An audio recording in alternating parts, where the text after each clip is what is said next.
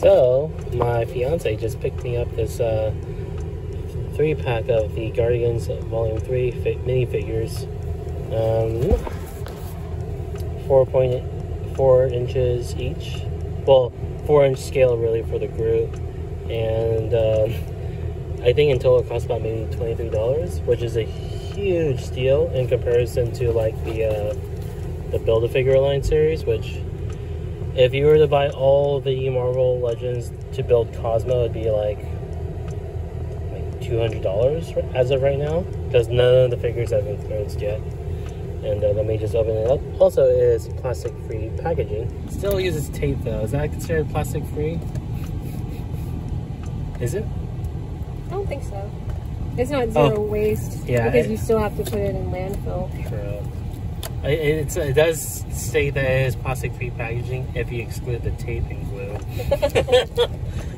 that's that's actually really funny. At least it notes it. So, little coffins. So this one will be. Aw. This one's Cosmo. A good dog. Details on the figure don't look totally amazing, at least based off the uh, the how it looks like in the RS render. This looks like um, you need. It looks like uh, it would. It looks like you would need to take some sort of ink paneling and like just ink up the uh, details on her suit. But very cute. Definitely did not feel like I should have spent two hundred dollars on this small figure alone. Let's see. This is this Groot. Oh, these are Groot's wings. Okay, creepy. Sure, sure. And this must be Groot.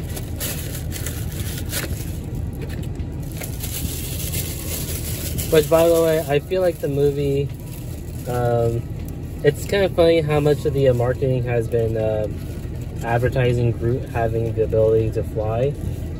Um, when in actuality, I feel like the um, the movie implied that it was supposed to be a big plot twist that he could, in fact, in fact, glide. Surprisingly good articulation for four inch figure. Maybe a forty five degree bend at the shoulders, thirty maybe thirty five for the um, arms, and then hips are pretty wide. The knee joints aren't the most amazing. Just playing with it, because it like look how loose that is. And I heard it too when I was opening up the figure. No, that's not good. But overall, pretty good. Good looking figure for a 4 inch line. And now here's the piece de resistance. The little tiny baby rocket, rocket raccoon. That's so cute. Definitely same size as the Porg.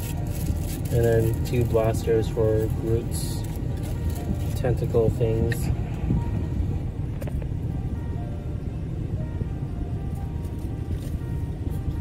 Where is this? Where does this thing go?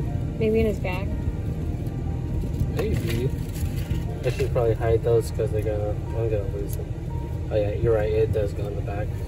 I guess it does. There we go. I got it. Oh, it goes in the front, actually. oh my god.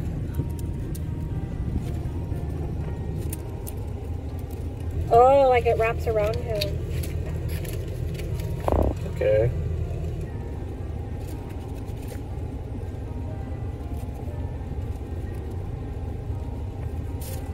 Oh yeah, the overall very cute figure set. Um, for twenty three dollars. And I would be curious to see how this scales in comparison to the six, seven inch, the six inch line. But I would say, if you're looking for a cheap alternative to get Cosmo, this might be a good alternative. It might be a little bit on the smaller side, but damn, Cosmo's big. Then look at that in size comparison. Our dog is that supposed to be that big? I don't. Okay, that's it. But yeah, good. Uh, good set. Very good set.